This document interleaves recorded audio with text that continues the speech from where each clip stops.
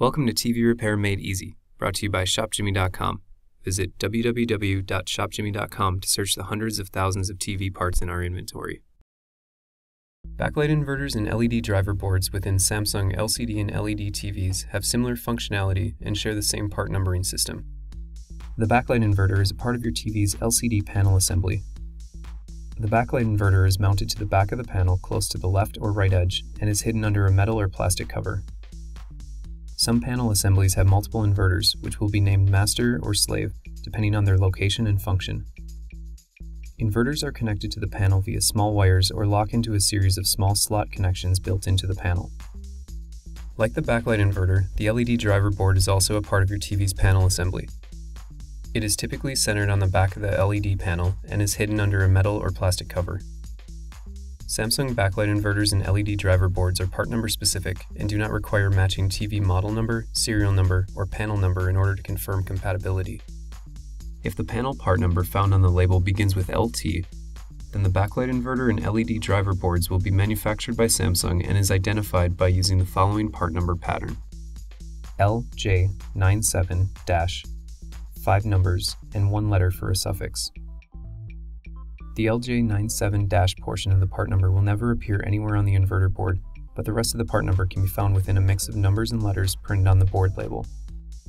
These labels vary in location, size, and color, and can also have a barcode printed on them. Look for the line of text that begins with five numbers, followed by one letter, and then a mix of numbers and letters. Write down these first five numbers in the letter that follows. Write LJ97 in front of these six characters and you have successfully identified the part number for your Samsung backlight inverter or LED driver board. Search your LJ97 part number on ShopJimmy.com to find a compatible replacement. Typically, your LJ97 part number will match the ShopJimmy item number. If searching your LJ97 number directs you to items that have differing ShopJimmy item numbers, Take a look at the product details to confirm that your LJ97 number is listed in the part number, board number, or substitute parts field. If your part number is listed in the part number or board number fields on a product page, but is different than the ShopJimmy item number, that just means that we have found manufacturer part numbers that relate to this product. These part numbers typically start with BN81 and are found within the TV's service manual. As long as your part number is found in the part number or board number field, this item will be the correct replacement TV part for you. If searching your part number directs you to items with slightly different LJ97 numbers, take a look at the product details to confirm that your part number is in the substitute parts field. As long as your part number is found in the substitute parts field, this item will be a compatible substitute and will work in your TV.